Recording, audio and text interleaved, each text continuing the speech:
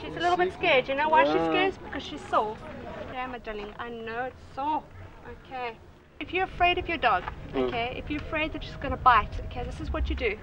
No, it's only this one. But the Okay. other one is You do this. You see how I'm going to wrap the muzzle? Mm. Do you see here? All right. Okay. Now I'm going to hold that like that. Can you see she can't bite me now? Mm. Okay.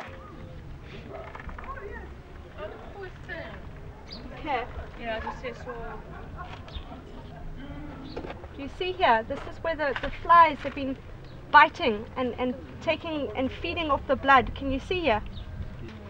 Now this is just the best I can do for now, okay? But I Mm. want you to do this every day, Okay. alright? Every day. Now tomorrow, I want you to get some warm water, not too hot, Yeah. okay? And I want you to sponge the ear off, sponge it off so that it's warm and all this stuff that's on here comes off. This is dried blood, okay? Now, this is Vaseline. Mm. All right, now this isn't the best thing to do all the time, but what I'm trying to do is I'm trying to cover this so that the flies are not attracted to it. Can you see the flies don't want to go there now? Mm. Can you see?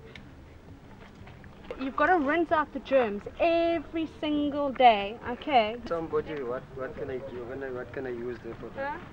He said, no, maybe Jeyes fluid is alright. No, Jeyes fluid is really the wrong thing to use.